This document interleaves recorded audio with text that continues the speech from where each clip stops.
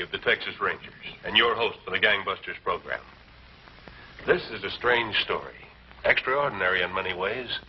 It's a story of Herbert Noble, a man who literally had more lives than a cat. In just a moment, I'll tell you about him. Five, six, seven, eight, nine. The nine lives of a cat are legend. But Herbert Noble had 12. And it still wasn't enough.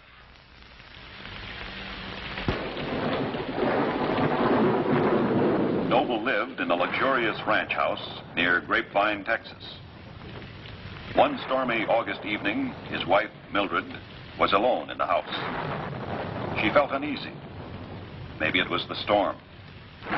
Or it could have been some psychic warning about the future. Where? Where in the world have you been? We're an hour late for that party now.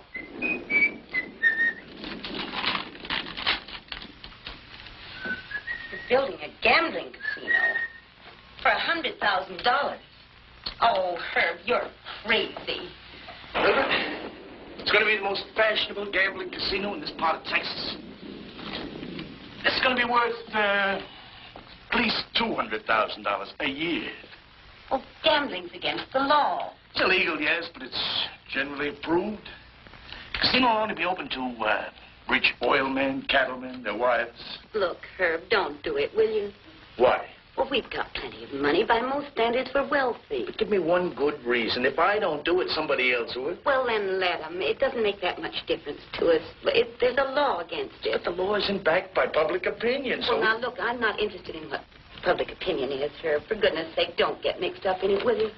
Why? Why? Well, for one thing, look at the people you'd have to get Oh, mixed up with. And besides, Herb, I'm scared. Oh, take my word for it, will you? If you want to, you can put it down to women's intuition. Uh-uh. I can't run my life, Mildred, by women's intuition.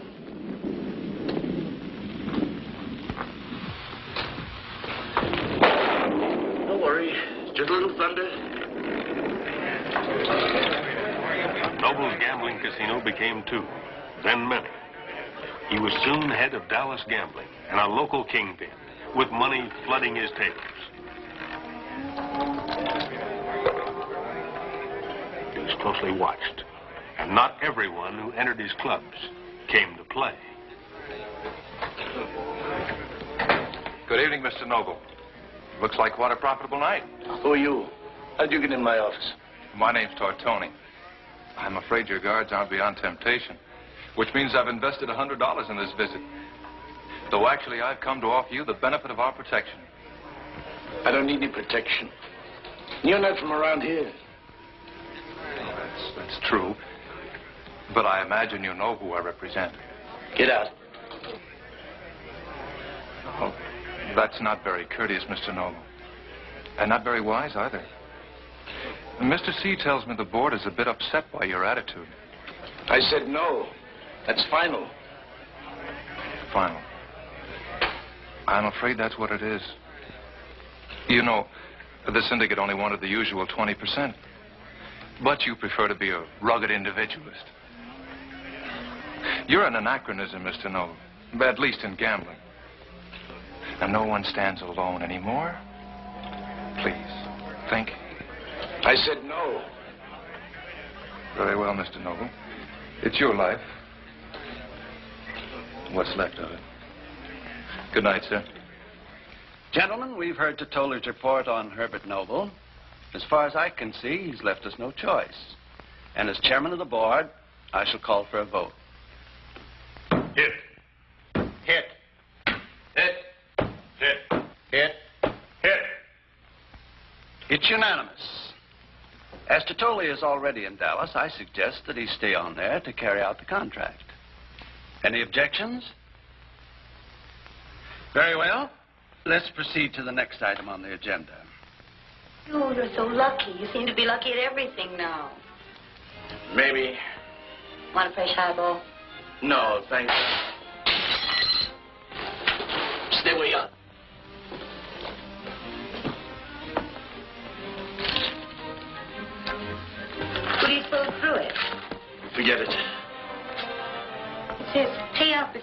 Be killed. Pay for what? Protection. Herb, they're racketeers. They're threatening you. Please, please give it up. Be scared out. Who are they? Don't know. Oh, look. They're doing this to you because they know that gambling's illegal and that you can't go to the police.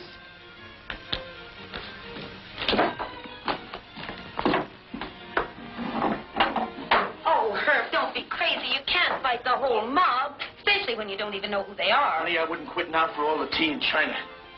If they want trouble, I'll give them as much as they dish out. Come on. It's your play. Oh, Herb, you're crazy.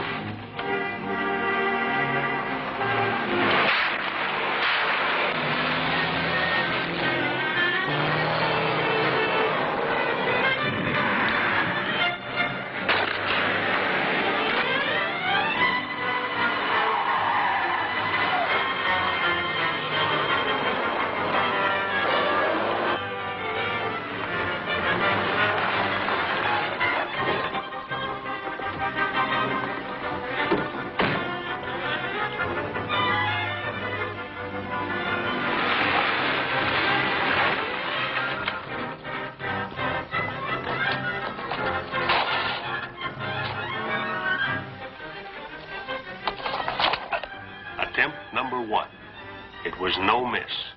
Noble was hit hard. And for a moment, a few bushes were all that stood between him and the finish. There's blood on that barrel. Yeah, he's hiding right here somewhere. Could be in the barrel. Come on, let's get out of here. The shooting, somebody be back any second. The killers knew they had hit Noble, but it had been too noisy. They decided to let him die of his wounds while they looked to their own getaway.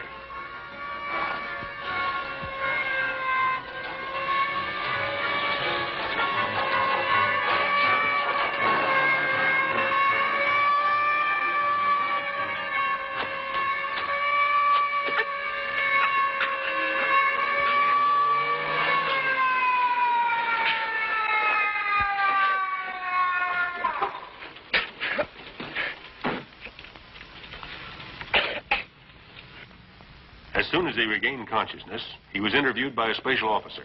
Despite bullets through his shoulders and back, Noble didn't die. terribly sorry you've been shot, Mr. Noble. Who did it? I Don't know. Hmm? Could have been anybody. Well, It must have been somebody who was after you. Know who? Uh-uh. Well, you must have some idea. No. If they've tried once, they'll try again. They better head. This is a job for the police, Mr. Noble, not just one man. We'll see. You're wrong, Mr. Noble. You're making a big mistake by not cooperating. Sorry, Captain, I can't. And that's all you say? I know you're one of the best shots in Texas, Mr. Noble, but a thing like this takes training. We've devoted our lives to it. If whoever did this knew I went to the police, they'd get back at me. Maybe at my wife. Can't take the chance. Put her under guard. Thanks, but I'll take care of it. Okay. He was tough. Just how tough was yet to be seen. 38 caliber. Two mashed up for identification, even if we had the gun. Three of them, huh? Noble's a pretty lucky man at that, huh, Andrews? This time, anyway. But next time, Next time. If he was smart, there wouldn't be a next time. Why do they have to take us for fools? why is the shore so near the ocean? It's the way it is, Bob. Yeah. Well, we know the syndicate has been pressuring Noble to join up. It's pretty obvious he said no. With him, it figures. He's a lone wolf if I ever saw one, and tough as one, too. But I don't envy what he's up against. Feel sorry for us, Andrews. And all the decent people that pay off to the syndicate every day in a hundred ways they don't even know about. Oh, if only Noble would cooperate. We might be able to get a wedge in. We might be able to crack the syndicate if. if. Oh, but he won't. Yeah, it always happens. The trout starts hitting, and I get a job like this.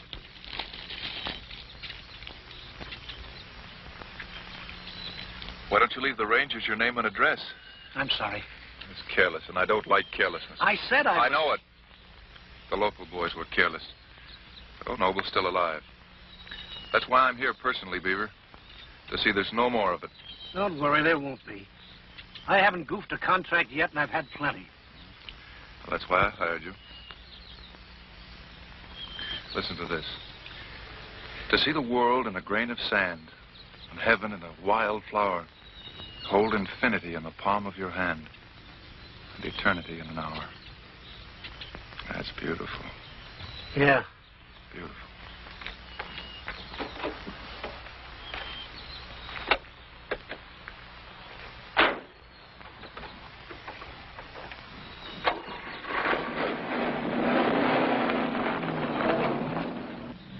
We got a nibble.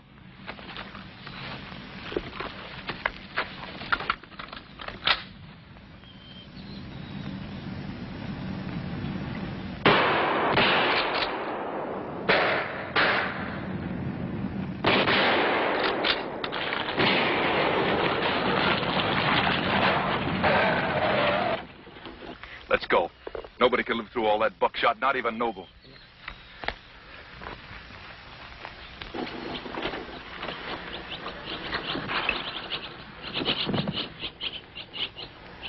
An alert neighbor reported the shooting, and working with the highway patrol, we immediately set up checkpoints around the area.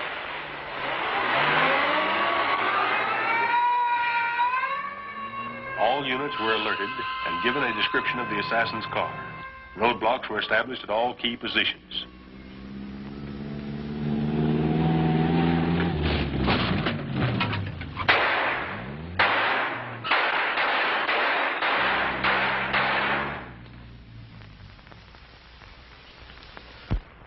Charmed life held good. Riddled with buckshot, he was on his feet in a few weeks when other men would have been dead. But, Mr. Noble, it should be evident even to you that you can't fight them by yourself. Now, suppose you let us give you a little protection. And we'll set up a few traps around your house and... and but... Hello? Hello? Shall I uh, guess where he told you to go? Yeah. He's even more stubborn now than he was before. With that hard head of his, it's no wonder those shotgun slugs bounced off. Come on, Beaver, hurry up. Now, the dynamite, I don't hurry. This stuff is a very touchy disposition. Hey, you are. All ready to go boom. This might be a little messy, but I'll guarantee Noble don't get away from this deal except in little pieces. You better be right. Mr. C'll have us in little pieces. Come on. No, I didn't sleep.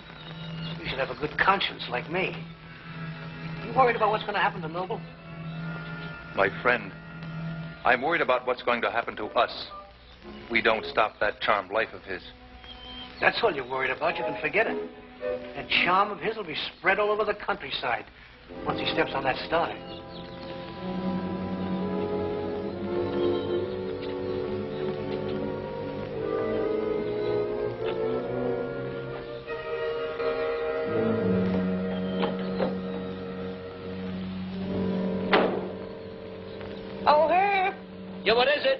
If you'll leave me the station wagon, I'll get the packages back. Okay. Oh, no. They're changing cars. What are we going to do? What do you suggest we do? Get out and tell Noble there's a bomb planted in his car, so please use it?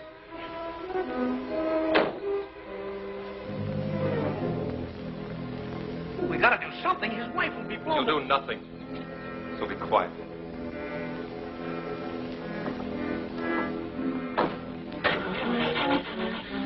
Again. That guy's got as many lives as a cat. Tortoli, if she goes to that station wagon, I've got to do something to stop her. I'm no woman killer. You will be in a minute.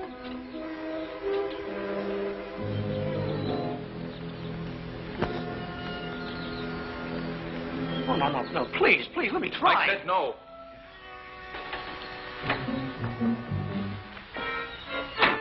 I've got to stop her. I can't watch her being blown to bits. Then don't watch.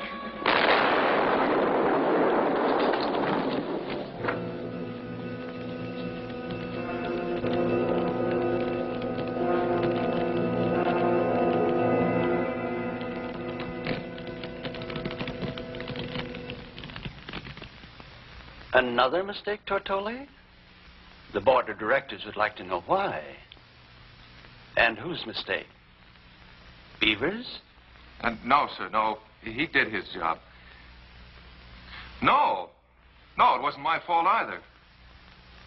Well, how could we know that they'd picked this morning of all mornings to switch cars?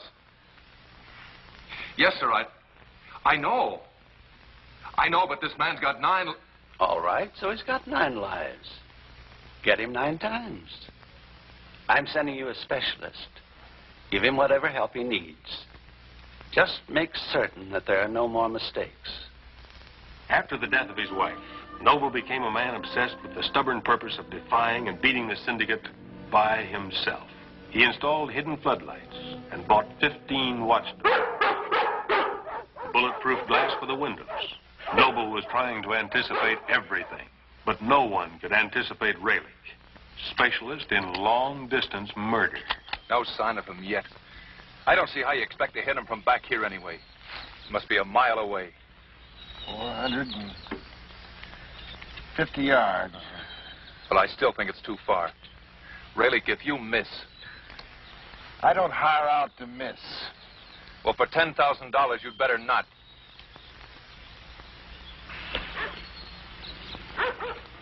He gets set. I think he's coming out. Well, earn your money. One shot. Are you kidding? Dropped an elephant with one shot. Why do I need more for this? Because Noble's a freak. He absorbs bullets like a sponge. Now load it up. Make you happy? Fine. It's a waste of ammunition. Well, I'll pay for it.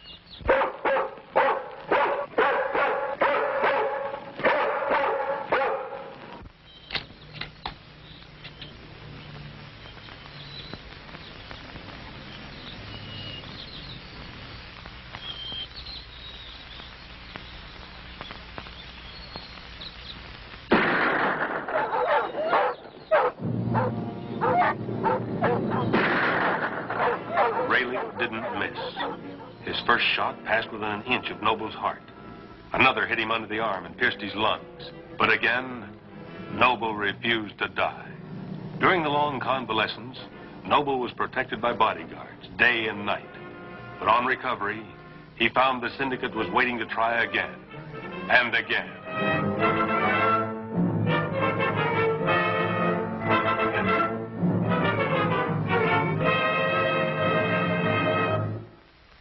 Good news, Bob. Raylick was just killed in Oklahoma in a fight with a truck driver. Can you imagine? Well, that's one killer that Noble won't have to worry about anymore. Still think he was the rifleman in that fourth try? Can you name another killer who can drop his man at 450 yards, missing his heart by a whisker? No, but I wish we could prove more or knew less. Ask Noble. Eleven times they've tried to get him. But will he help us? Uh-uh. I'm sorry, Tortoli. The board is taking it out of my hands. We all like you, you know that. And because of your fine record, the vote was to give you one last chance to fill this contract. But if you miss, the board is going to vote on you.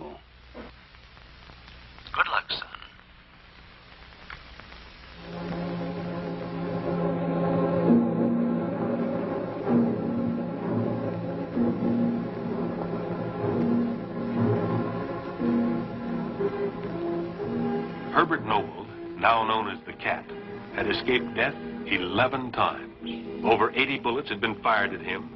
Nine of the bullets were still in his body. As if daring the killers to strike again, Noble no longer stayed inside the safety of his fortress home.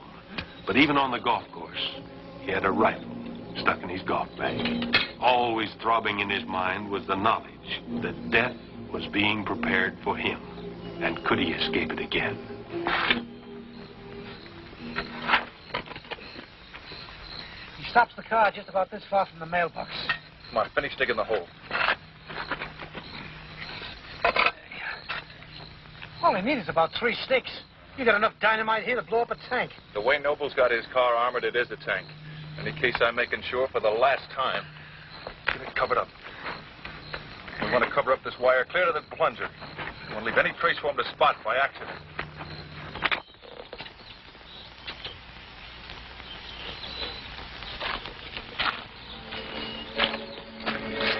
Now the connections are all good.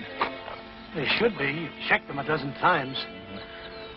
I have a feeling I've been through all of this before. But it better be the last time. Uh-oh. Here he comes.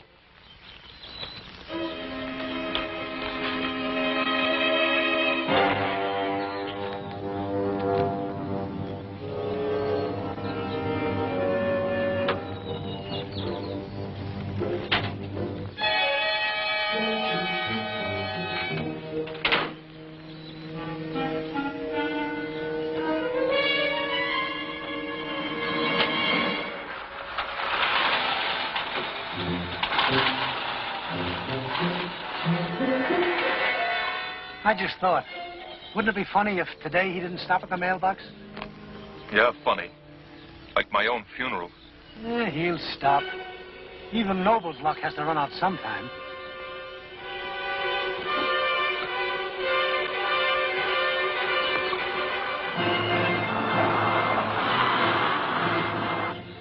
See?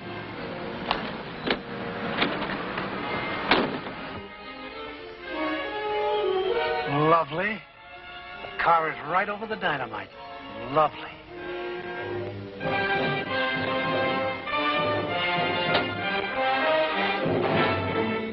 Easy. Let him get in the car. I'll decide when.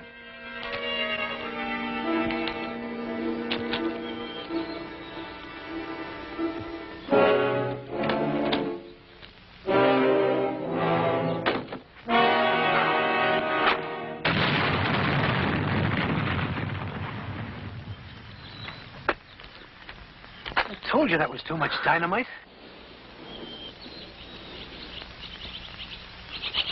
At last. The end of Mr. Herbert Noble. Mr. C's going to have good news for the board of directors tonight. Come on, let's get this gear out of here. I got a plane to catch.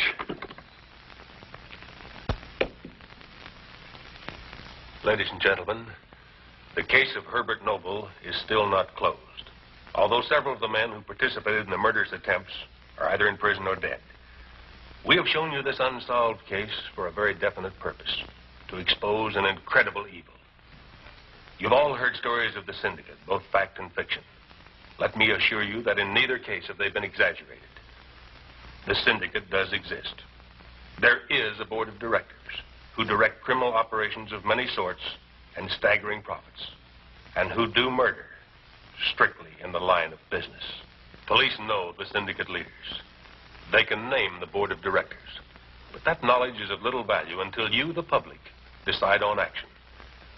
Because against the power and influence of the syndicate, the only real threat is public opinion. Your opinion. Next week, another gangbusters case, taken from authentic police files and records. Until then, on behalf of the police, we invite you to join gangbusters. Created by Phillips H. Lord.